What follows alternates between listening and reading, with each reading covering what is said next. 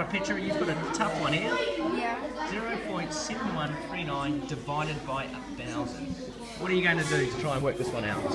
Uh, this is very hard. Um, I don't really know. How about we write it down on the, the whiteboard here Uh, under each other? Just, put Or. it, just write that one exactly like this. Okay.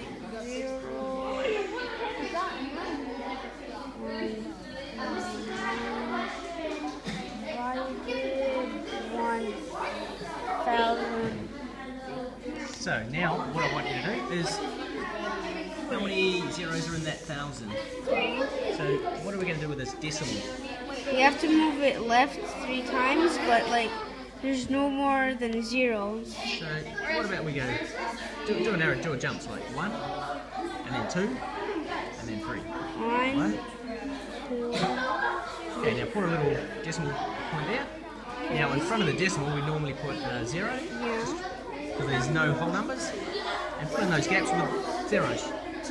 Oh. And hang on, you probably put too many in there. Just rub that one out there, done. And the reason is because you've actually done one, two, three. Okay. Okay, so you've actually jumped three, so, So try typing that one out. See if that works.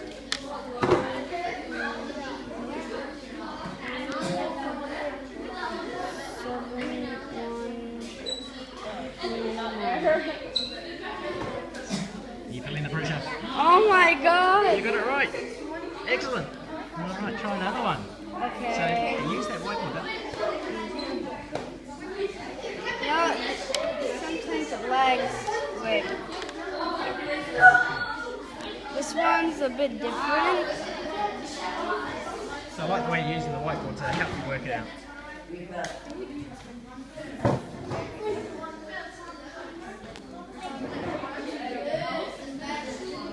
I need help. I don't get. I don't get how this makes sense. If if it says six, right? Yeah. Uh, I put six and it says seven. Okay. And if I go to six, it says six. Okay, so this one here is saying 6.48 or Yes. 6 and 48 And this hundredths. This one's saying 6 and Seven. 77 hundredths. Oh, okay. So you have to try making it as close as you can to the next number. Yeah, so the whole number, the whole numbers is like like having a whole pizza. You're having six whole pizzas Yeah. and there's 77 slices left But out of, oh, out of 100. Okay. So all you're doing, look at the whole number first Okay. and then look at the very next place value, which is in the tenths. Yeah. The. If that is bigger than, if it's 5, 6, 7, 8, or 9, you have to add, add one on. Okay. If it's, if it's, if that was a 5, oh, if that was a 4, 6.47, you still just look at the 10th place and it just stays the same, 6. Okay. Try another one. You get that one right, Petra? Yes. Good work. I put two because it's on 92. Okay, so the And it's 2, not on like 97 or 99. Nine is higher than five. You have to, you have to add one. You remember what I said? Now I just need to put seven right? Remember when I told you if it's five or over five, you have to add one to the this? So what do you think it is now?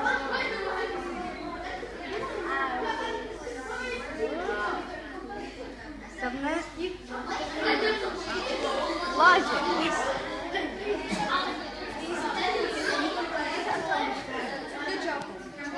No.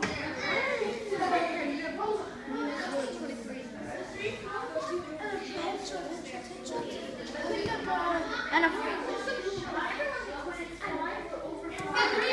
there you go. now. Um, is this correct? How I've done it? I've I've done the same thing. I've gone left and then left again because there's two zeros. So what I've basically done is I have this and then And if I'm, if I'm looking at that, hun, you've got. Look at that, you've actually jumped. You got to, when you do your decimal, you actually just have to jump one digit. That would be one, so, two, but you've jumped four digits. so it's gonna be there. Yeah. and then it's gonna be zero. So it's gonna be zero and that. That's the one.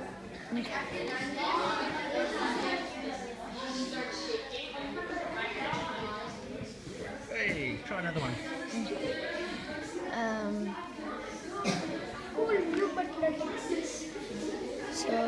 And then the decimal, just one, yep, two, and put the decimal where that where you landed, and put a and put a zero in front of it, and then get rid of that, and that's zero, one.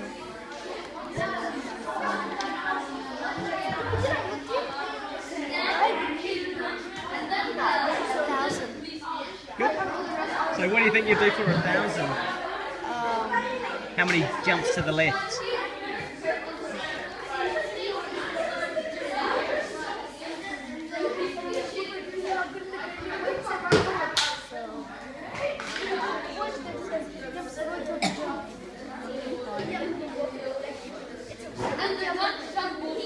Eight out of ten. What percent is that? Eighty percent. Good work. What do you have to do for this one? I need to find out the nearest whole number. Which one's the whole number? Ah, good thinking.